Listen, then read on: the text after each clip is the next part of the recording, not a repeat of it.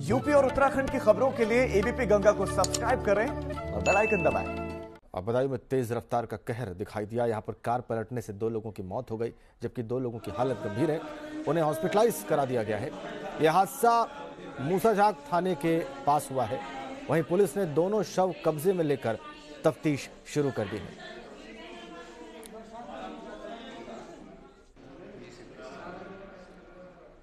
जबकि दो लोगों की हालत गंभीर है।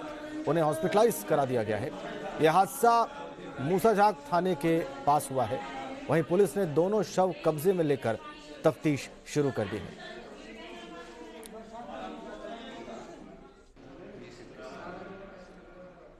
जबकि दो लोगों की हालत गंभीर है, उन्हें हॉस्पिटलाइज करा दिया गया है। यह हादसा मूसाझाक थाने के पास हुआ है। वहीं पुलिस ने दोनों शव कब्जे में लेकर तफ्तीश शुरू कर दी है।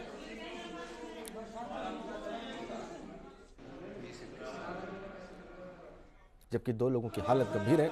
उन्हें हॉस्पिटलाइज करा दिया गया है। यह हादसा मूसाझाक थाने के पास हुआ है। वहीं पुलिस ने दोनों शव कब्जे में लेकर तफ्तीश शुरू कर दी है।